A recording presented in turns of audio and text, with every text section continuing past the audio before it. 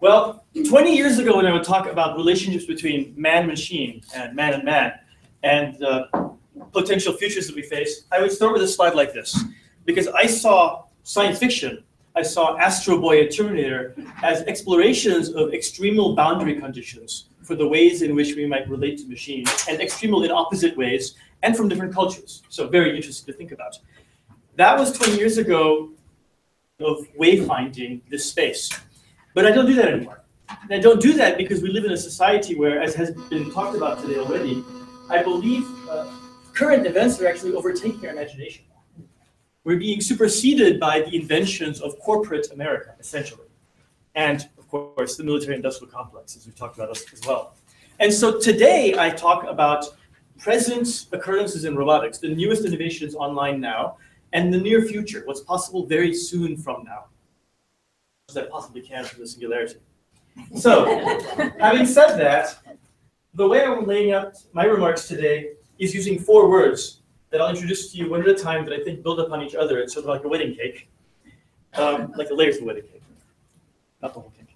And these four words actually have already been mentioned multiple times by my, my prior colleagues and speakers. So it's perfect, I think, as, as uh, a wayfinding that we can use in this talk. And the first one I want to start with is the concept of identity. Because if I think about ethics and the ways in which robot technologies today, taken broadly, uh, inform our understanding of human identity, in fact, I believe we have interesting threats that we face as a, to the question of who we are. And they come from robotics. And yes, I'm going to start with science fiction after I told you I won't. Because in fact, the first thing we need to understand is the degree to which modern science, modern AI technology and deep learning are changing our own comprehension of who we are, the degree to which we have agency or autonomy or free will. And this is really problematic. This is a scene from the very beginning of Blade Runner, one of my favorite movies, in which a gentleman is using a Voight-Kampff machine, a fictional machine that looks at things like the micromuscular movements of the person sitting here on the other side, reverse camera view, trying to figure out if they are a replicant, an artificial being, or a real human being. And what they're doing is they've determined that we can actually tell the difference between replicants and humans by looking at the minutiae, the details of how they move their face.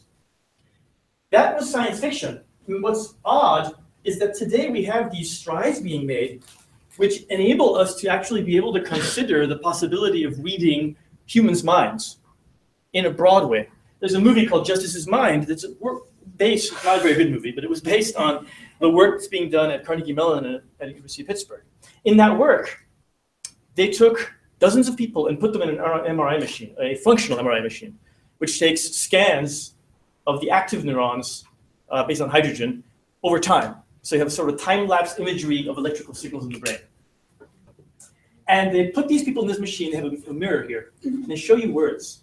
And they have you think about those words. And they're words that have some abstraction to them. Love, peace, kissing, chair, all sorts of words and you think. And they train a massive neural network based on the brains that you've scanned on how you think when you see these words. And now here's where phenomenology gets seriously in trouble. Because then they take one of you who was never in the machine, and they put you in the machine now. And they ask you to think about one of these words on the list, and they can tell which word you're thinking about. Scary, because it suggests that the inner workings of that sanctum here actually has similarity between people. How weird is it that if we come from different cultures, that if we are thinking about the word love, the same neural systems are firing when we've been taught for decades that if the small child, developmentally speaking, is establishing all these connections anew based on their particular experiences. So how is it that a machine can read our minds? It, in a way, uh, can etch away at the sense of agency that we have in a fairly provocative manner. Now, I'm not exactly going to talk about the singularity, but what I do want to talk about is the rhetoric surrounding the singularity that comes from these very kinds of studies. Because there are a number of scientists and a number of billionaires who've been convinced by this, that humans are essentially machine-readable entities.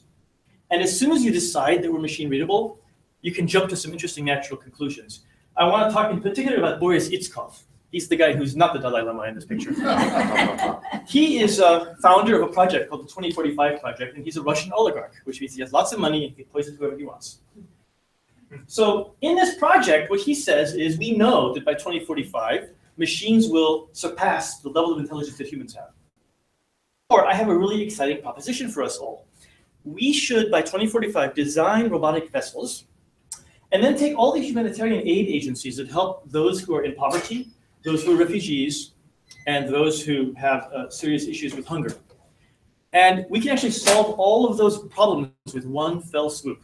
Because since we know by 2045 we have super intelligent machinery, and the machinery can help us design robot vessels, what we can start doing in 2045, which is so exciting, is we can actually start people's consciousnesses into these machines, thereby resolving the problem of hunger and poverty and pestilence. So all the horsemen of the apocalypse disappear behind the horizon because in fact we've downloaded everybody. Now you and I may consider this to be mass murder, but in fact he considers it salvation. And it's a real project. I'll just give you one quote from him from the New York Times. He maintains that his avatars do not just end world hunger because a machine needs maintenance but not food, but that they would also usher in a more peaceful and spiritual age when people can stop worrying about the petty anxieties of day-to-day living. Times remarked on this entire thing and reports on it without irony, without question. And it's really fascinating to read that the journalists talk about this with a sense of excitement about 2045. I bring that up with you because what's important to understand isn't so much that what they're talking about is hogwash. It is, but don't worry about that. What matters is the degree to which billionaires today are pouring their resources into solving this problem, and journalists today are reporting on it as an exciting and possible future for humanity, which isn't. And those are, of course, all resources that we could be using for some greater good. We're thinking about our identity as people. These are all ways in which our identity is threatened because the essence of who we are and the kind of dignity we'll have in the future is being reformulated around us by ideas that are actually fallacious. But those ideas are becoming the dominant theme in our culture. And that, I believe, uh, discredits the way policymakers will act in the future, but also the way publics will react as changes do come under our feet. It's not all the case that our changes in identity because of machinery are bad. And I want to show you this one picture because it's so powerful to see examples where, for instance, using targeted muscle innervation, you can take somebody who has no arms, give them robotic arms that actually feel musculature on your chest, and have those robot arms be so fully incorporated into that person that in the matter of literally a few days, they start believing in those arms as a natural extension of their body. That idea, that mimesis, where cyborgs are resolved from people and machines put together. Those machines, by the way, with microprocessors, so they're doing decision making jointly with the human. But the idea of a human re-identifying themselves as a homunculus that includes humanity and machinery together, that's coming. And it's in some cases powerfully good. I'm going to try really hard to temper myself with good news in there as I go down my uh, dystopian pathway. So uh, talented at thinking about. I like that, I guess. Uh, so identity will change, and the important bit here is it will change in multiple ways, but reality of how identity is being changed is in fact overtaken and subsumed by a kind of uh, hyper techno optimistic vision that I believe clouds our vision both in terms of funding and in terms of public outreach and public participation in science. I'm going to introduce the second word now that builds on identity, because if identity is changing, there's something that's absolutely critical to our identity as people that is changing just as rapidly with it. And this has to do, again, with dignity, but it has to do with the reason we get up in the morning. And it has to do with the reason we get tired during the day, and that's labor. One of the fundamental ways in which technology, particularly robotics and AI technology, is changing us is that it's changing what labor is. And it's changing it in really oddball ways. I want to start with reCAPTCHA. When you wanted to go to a concert, you'd buy a ticket to the concert by going online and buying it. And yes, I'm older than some people here who don't realize you used to go to box office and buy it. Those days are long gone. But in fact, over time, what happened is we had to prove that we aren't robots. So we'd go to a website to buy the tickets, and would appear and ask you a question. And often it was a numeral or a word, and we had to type in the correct word.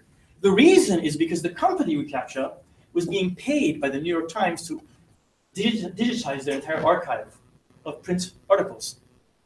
But the optical character recognition systems were failing on some of the words. So reCAPTCHA would show them to you because you're human. And you would figure out the correct way to spell that word. And they'd test it on a thousand people and make sure that they agree by vote. And then reCAPTCHA gets this really cool benefit. They digitize the word, which means they can sell a digital version to the New York Times and New York Times pays them for it. And Ticketmaster also pays reCAPTCHA money because you just proved you're a human being because you got that word right. So they're actually making double money on you. Isn't that cool? And using literally hundreds of thousands of minutes of humans' times around the earth to do that. Now, it gets a little spookier because they ran out of New York Times archives. They actually digitized all of them now. Started doing is they start showing you, maybe some of you have seen this, this, and say, what's that number? So what they're showing you is an image from Google Street View of a house. The problem is sometimes they can't tell which house number it is. So now the physical world has become glued to the digital world through digital labor. You're actually helping reCAPTCHA now identify people's private property by identifying that house number. So now they're getting paid by Ticketmaster and by Google, and you're helping them identify private property. So in the future, Google Maps can do a better job of taking you there. Or any kind of targeted marketing can happen there. So again, it's digital labor. And you are the digital laborers, and you don't get paid for it. In fact, it taxes your time, and they get multiply paid for it. In fact, they can sell and resell this information multiple times. Now, there are strange boundary examples of this that I have to bring up before I get to the really scary case. Because digital labor inherently changes the concept of labor from something we do by choice to something we do because of the matter of convenience. Not our convenience, but the convenience of those that have hegemonic power in our society. And that's a really scary place to be. Uh, McDonald's has lots of power in society, so I have to show a picture of McDonald's, of course. Um, you have McDonald's in Canada? Yes. so this is an interesting example. Hyperactive Bob is a vision system. And the problem McDonald's had was short order cooks have to make extra french fries all the time and hamburgers. because if the line gets long, people don't pull in and wait in line. So they want the line to be short. But to make the line short, you have to make food before it's been ordered. But if you make food before it's been ordered, you have to waste it because you might guess wrong. So they needed to magically know what you're going to order before you've ordered it. How do you do that? Easy. You put a computer vision system in the parking lot of McDonald's that looks at the cars pulling in. And the computer vision system is connected to the point of sales register in McDonald's. And over time does deep machine learning to learn what cars order. And it turns out Toyota Priuses order fish fillet sandwiches. and that back, that orders the supersized Big Mac and the supersized fries. And amazingly, it works. So Hyperactive Bob demonstrated in Pennsylvania that they saved money for McDonald's by shortening the line, causing more people to get in line and eat food that kills you gradually. At the same time, the short order cook cooks more accurately the right food. This is behavior analytics. We started talking about this because Kathy brought up the word predictive data. The idea of behavioral analytics or predictive data that allows machine learning systems to embody a level of information on our future, to predict our behavior over time in a way that was really not possible before with simple human engineering. That is a powerful sea change in how we can control humans. And so when you look at Intel Corporation, for instance, the ability that they have to track microfacial gestures and pupil diameter and pupil direction on a face has turned into something absolutely stunning today, where you have digital advertising boards now that are about to become sold that have cameras built into them. And when you approach it, that digital advertisement can categorize you, your gender, your probable race, and your age, and even your social status from the shoes and pants you're wearing. And then it can decide what to advertise to you. And it can do tens of millions of experiments every day to determine across the country which advertisements work for which subcategories of humanity. And they're connected to the point of sale systems in the store so they can tell what you're buying. So now what happens is massive marketing experimentation, A-B split comparisons, that allow a digital system to create a never before seen structure from human archetype to behavior. And that means that you have just become somebody for whom the company owns a remote control. Because they can push your buttons in just the right way to get you to buy with maximal efficiency just the thing that they have in overstock in inventory. And that's interesting because Now, your very behavior in the sidewalk, the way you smile, the way you grimace at the price tag, and what you buy, has become the very digital labor that causes your future to become guided by a greater intelligence, if you will. That intelligence being behavioral marketing. Both your identity, because it starts to question the degree to which you have control over the decisions you make, as well as, of course, who profits. There's something much deeper and sicker about this, of course, which is what happens when politicians get hold of this. What happens in societies that are polarized? When the politician who wins is the one who can do such outstanding behavioral advertising that they can essentially send the right individuated messages to each of us to cause us to vote just the way they want us to. And is the definition of democracy at that point broken? Because even though at some surface level we live in democracy, when each of us is remote controlled by that uh, non-democratic intelligent agent, what remains of the underlying concept of being informed and then making an informed decision? Well, not much. Um, there's also another odd side to this that's reverse, and I want to share that with you. There's an interesting book Simon Head wrote called Mindless, in which he did a bit of an ethnographic analysis of several companies. One of them was Amazon. And here's what he did in Amazon that was so interesting. He went into Amazon and observed how the warehousing works at Amazon. And what he observed and found, Amazon had started putting GPS trackers on the people in the warehouses. It's like an indoor GPS system. And they noticed some people walking down the corridors would slow down sometimes and then speed up. So Amazon delved into, delved into this and figured out this is because people were slowing down as they did texting on their phones on the way to mm-hmm. pick up a package in the warehouse. So they started having meetings with people, and they started accusing them of time theft. Hmm. Time thievery is now a thing and they charge you for your time theft. How cool is that? But then they went a step further. They started looking at the musculoskeletal system of people as they move in these warehouses, and noticed that well, people walk like that, and they bend like that, and they bend down, and pick up the package, turn around, and they move back. They're wasting all this time. They optimized the musculoskeletal control systems you need and started teaching the people in the warehouses how to move. If you want to pick up that box, what you should really do is you move like this, you scope out the box, twist leg, pull, untwist, and whoa. There you go. Much faster. You can shave easily half a second off the voyage that way. And once you've trained your employees to do that, you pay them on a per box basis. Because now you can justify a higher level of productivity as long as they follow your exact muscular control directions and primitives. Science fiction. This is today at Amazon. And Simon describes this, but what I find absolutely fascinating about this is that's the one place at Amazon where you haven't roboticized the system because people happen to be cheaper. So instead of roboticizing the system, you roboticize the humans. And so labor gets redefined because the very fact that we can so closely observe labor, labor and use machine intelligence to find savings to labor allows us to take control in a way that changes the relationship. So this uh, takes me to my next word. We've talked about identity and labor and the threats that we see to both of those from AI and robotics. But of course, there's another word we've talked about a lot today, which is agency. And there's a fundamental way in which, as we change the concept of labor for humans, I believe we threaten or we interrogate what agency means to humans. And I think this is a really interesting area in terms of ethics as well. I have to start with the most prosaic example. Sign spinning is a very common technique to make some partial income if you're on the margins of society in Los Angeles. And there's an odd movement afoot, which is robot sign spinners. Now, robot sign spinners are kind of interesting. They can be dressed weird even more weird than human sign spinners.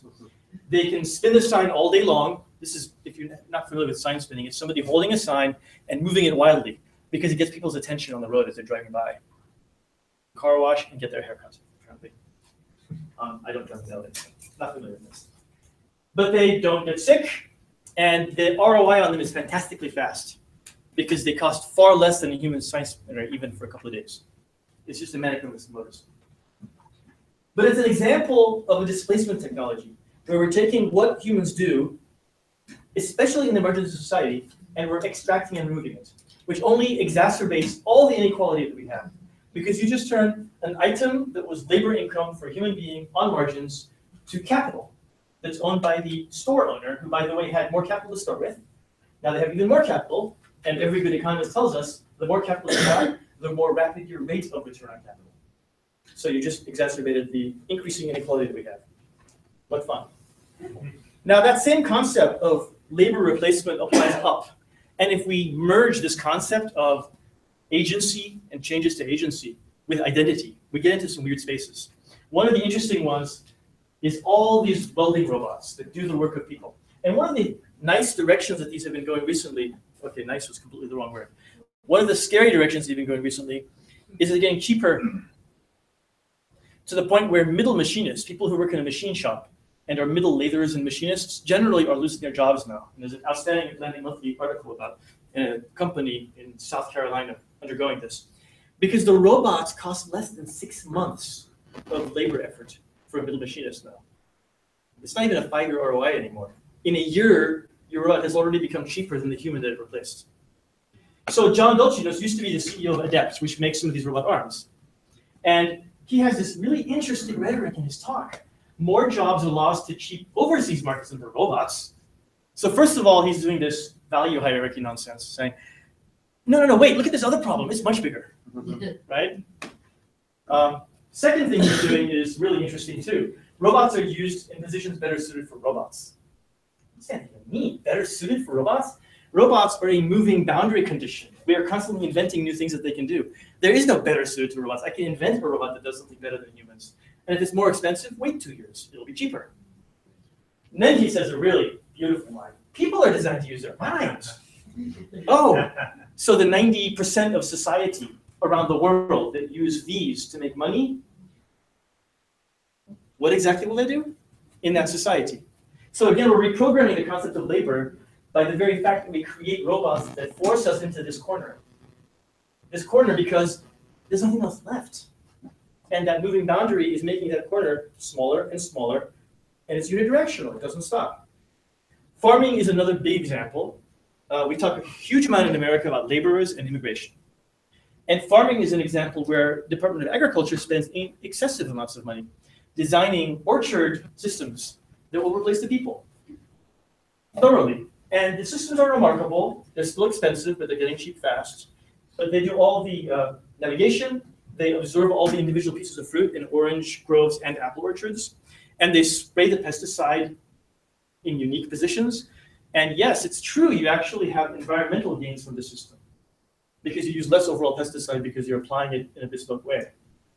But of course, socially, the ramifications are huge, again, for marginal cost jobs.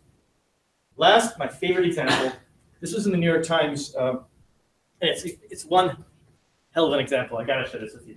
Shunde is a region in China, one of the major regions, one of the biggest manufacturing regions in China. And so Shunde has more factories than almost anywhere in China, which means a ton of people in China do internal immigration, migration to Shunde to get a job. So Shunde has a new project. It's called Replacing Humans with Robots. I'm not kidding. That's the name of the project in this entire part of China. It's called Replacing Humans with Robots. I mean, it's perfect, right? This is the gentleman who's the economics minister for this part of Shunde. And um, his goal, as this is a direct quote from his, his interview, our goal is to reduce the number of employees by half. So they asked him, what do you expect the people to do? The half, right? And he said, well, they should go back to where they came from. Find jobs there. And then they asked him, well, why are you doing this project? And here's what he said. Current migrant workers, their endurance and hardworking spirits are inferior to the older generations. Subtext, their endurance and hardworking spirits are inferior to robots. Then they asked him without skipping a beat, are other provinces in China running programs like this also? And he said, without skipping a beat, oh yes, all provinces are. Which begs the question, what do the other half supposed to do everywhere? So our agency erodes when the form of dignity,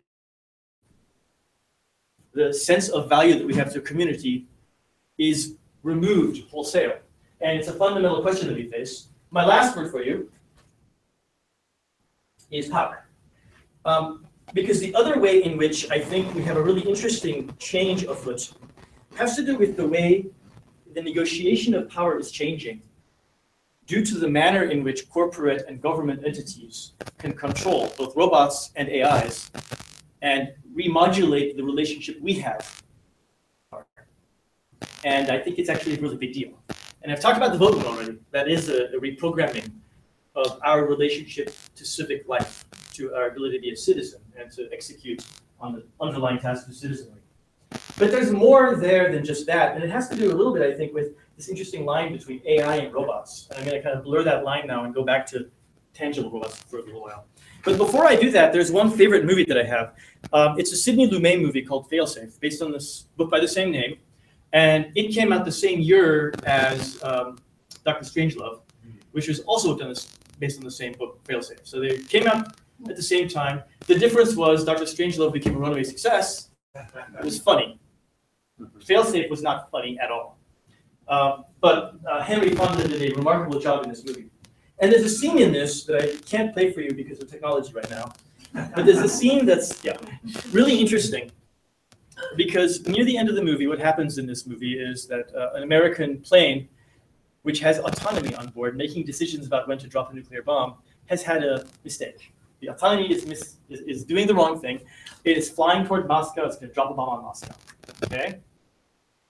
And America tries everything to stop this bomber, and they can't because it has a failsafe. It has a system designed so that once it's decided to drop the bomb, you can't stop it. So you can't overwrite it, right? So you can hack it, ironically. So the, the devil's bargain is made between Henry Fonda, President of the United States, and the premier of, of the Soviet Union, which is that, all right, we're going to give you permission to drop a nuclear bomb on New York City. This is the only way out of this. So we're going to destroy Moscow and we're going to destroy New York City at the same time and then we're, we're done, right? That's it, just two bombs. That's all. So it's a beautiful movie. There's a scene in which at the end, the premier says, this is a shame what's happening, but uh, of course, we have to remember no one's responsible for this happening. And it becomes a, a play about responsibility at that point. Henry Fonda interrupts him and says, no, you're wrong, I disagree. We are responsible for this because we're the ones who decided to put machines, to put automation in charge of a decision as weighty as this.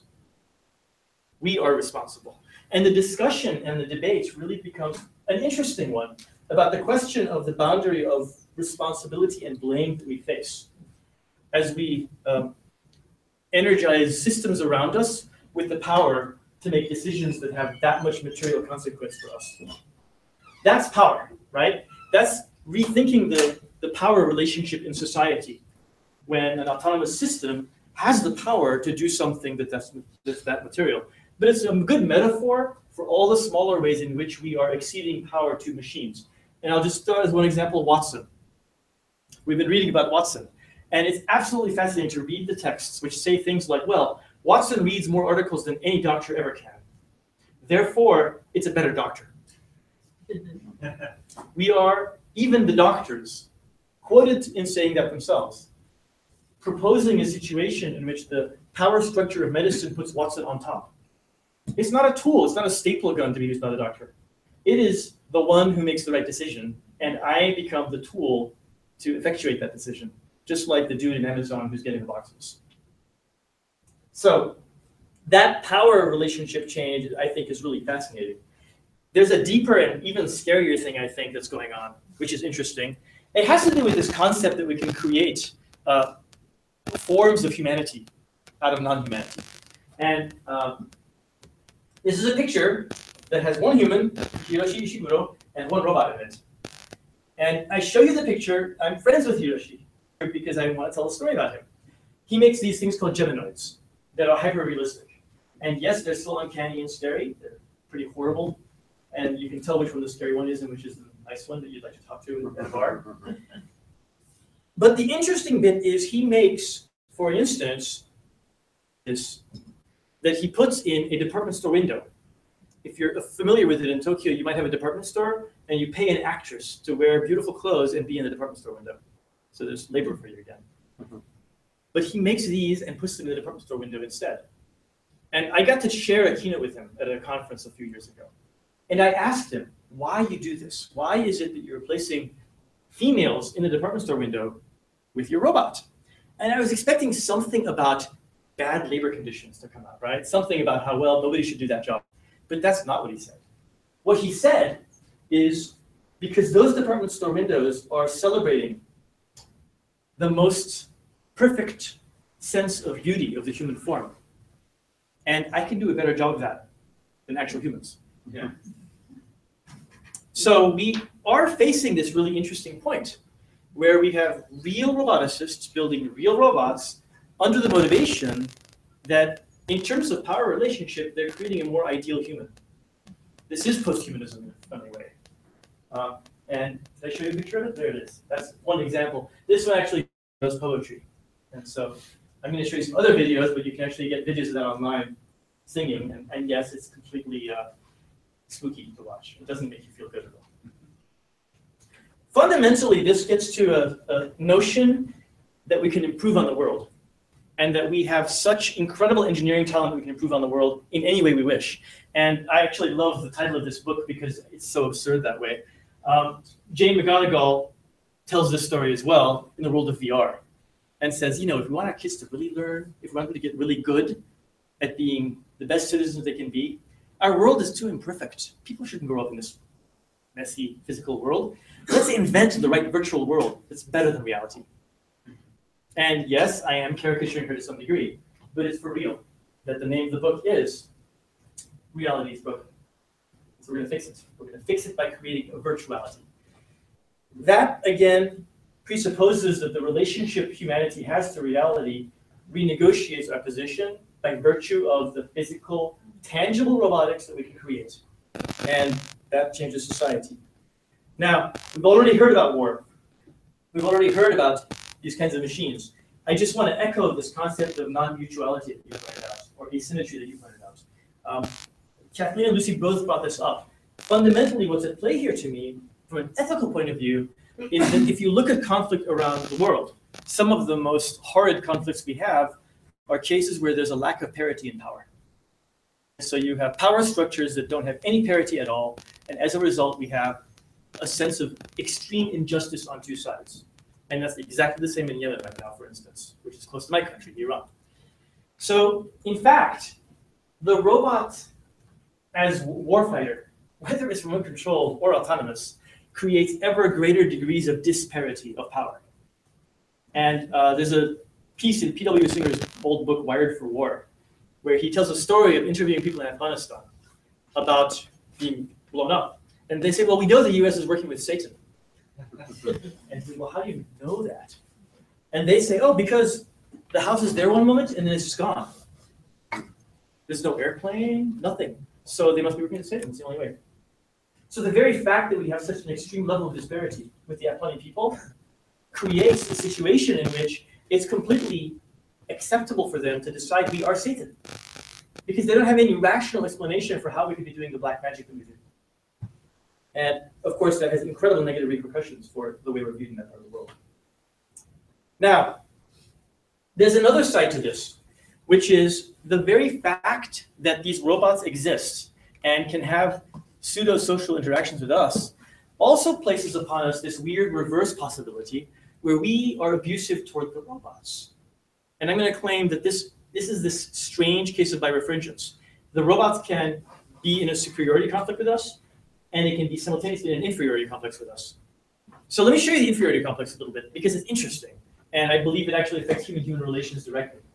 This is a machine. I don't remember if it's called big dog, medium dog, or little dog, but it's a dog. And I want you to just look at how they demonstrate how cool it is. They demonstrate its coolness through violence. And you'll see another shot outside. This is how a company, in this case, shows you how awesome their robot is. Here's another example. This is a case where, again, I want you to see the way the human interacts with the robot and the way you feel about that interaction. The robot's humanoid, so you start to develop a sense of empathy for it if you've never seen it before. And this human with that hockey stick, to me, starts looking threatening, bullying. I want him to lose, right? I want him to go away.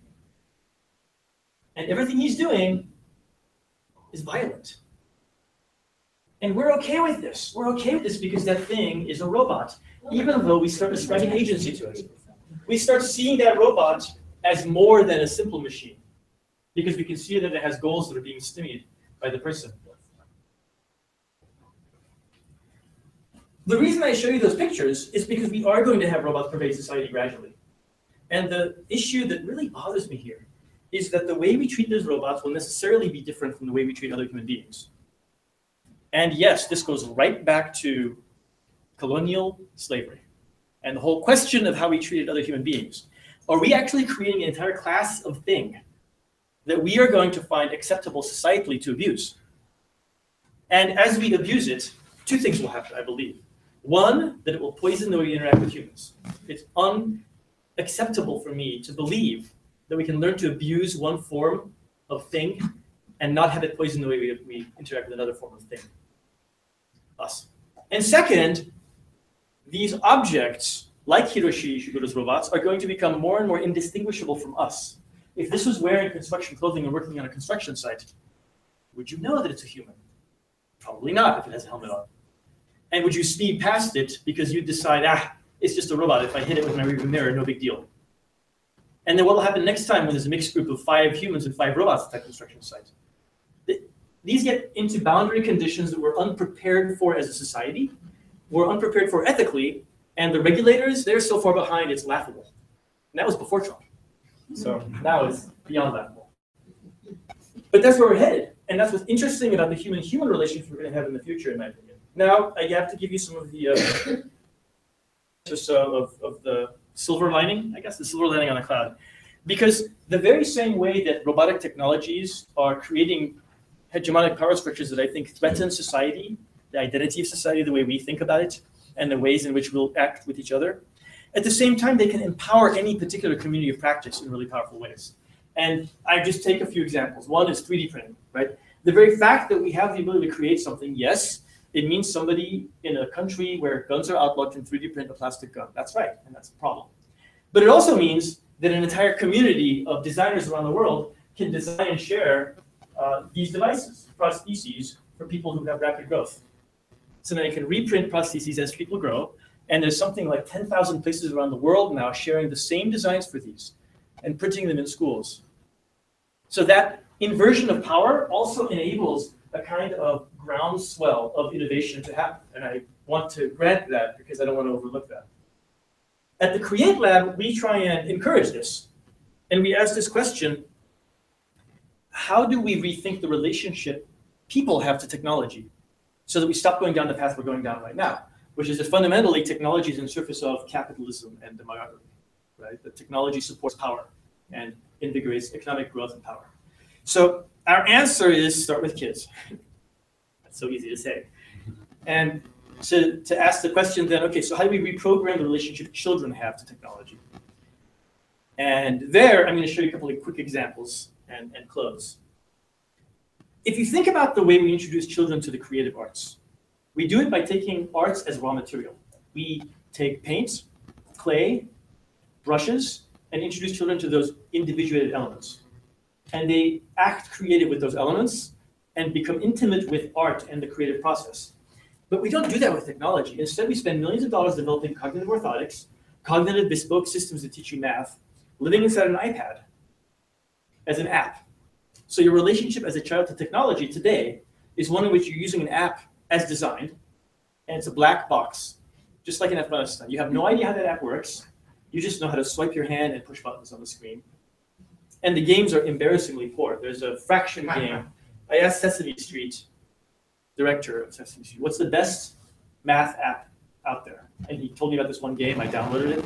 It teaches you fractions. It's got fractions falling down your iPad screen. There's a number line at the bottom, and you have to twist and turn your iPad screen to get it to fall in the correct place and multiply.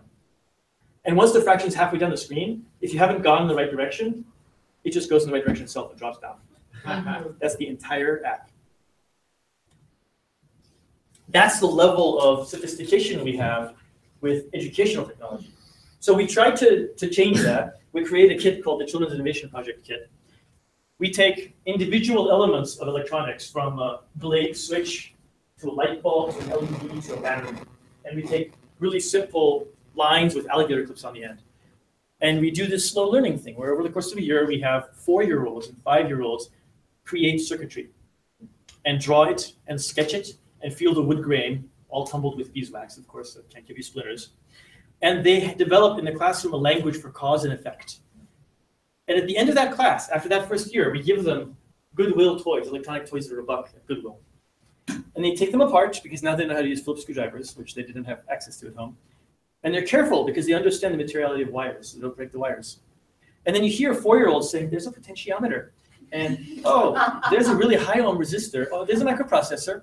Then they uh-huh. clip in with their alligator clips and make a new toy with the innards of this toy. So to them, the object has ceased being a black box that has a single function and has become potential. The potentiality to create whatever you want with it. That reprograms the sense of the power relationship they have to technology. But I think we have to do that massively. To reprogram what technology is to people if we're going to be in a situation where we don't have a few companies for billions of dollars into making something that's basically behavioral analytics turbocharged. So that's what really bothers me about society. I'm going to show you one more example of that, but before I do, just to give you a sense of the way we think about this on the positive, and what role technology should have in terms of the development of fluency. I look at it kind of bottom up. We need our children and our adults to learn to have curiosity. We'll go to something good Aristotle said, wonder. We need people to wonder about the world. And that inquiry in today's world, topos, choosing something to care about, is data fluency. Because in today's world, we have a sea of information out there, and what people need is the ability to, to sense make, to know how to ga gather the information and have a question worth asking. Then we need a way to create a story, which means learning rhetoric, creating a narrative, and developing an emotional attachment, pathos having something you actually care about. And that's what I think of as technological fluency. Not literacy, not the ability to program your VCR, but the ability to hijack information and use it to create a narrative that you care about that nobody else has created yet. It's like the deep sense of innovation being about making something new from something known. That concept of innovation. And last, I think we need this concept of ethos, creation of personal identity. We need people to then take that information that robot they built, right? If it's a robot, and advocate for change with it. So they're directly engaging with society in an attempt to make the world better. So that's the kind of uh, the other wedding cake, I guess, that we have for you, which is how we think about trying to change society. And I'll show you one final example, which is uh, an example of us doing that in a community in Pittsburgh, where they had the highest asthma rates in the state of Pennsylvania. They have a coke plant there. That's a plant where you take coal and you reduce it to coke to make steel there. And it's a Russian-owned coke plant. It was putting out massive amounts of pollution. People had to sweep the soot off their porches every morning. It's that bad. And all summer long, when it's blisteringly hot, this low-income community can't open their windows because it smells too bad and because people cough and asthmatics wheeze. And they would tell the federal government about this. This is in the good old days of Obama and the EPA. They would complain to the EPA, and the EPA said, well, we can't prove where the smell came from, so we can't do anything because there's no way to prove smell. So we made a massive robotic network of cameras around the plant. And we made a machine learning algorithm, a vision algorithm, that the community uses to identify every time an illegal plume of smoke comes off the plant. And then we create a smell reporting app that the community uses to report when it stinks. And overlaid it with a wind direction app that shows exactly where the wind was from when it stank. And overlay on that all the federal sensors that measure air quality there and a bunch of internal sensors we put in people's homes.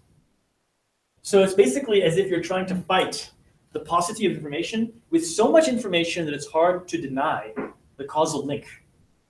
And then we brought the EPA division coordinator out, and the community, not us, the community got in front of him, showed him their interface, and showed him more than 10,000 examples of illegal plumes coming off, co-located with smells and particles.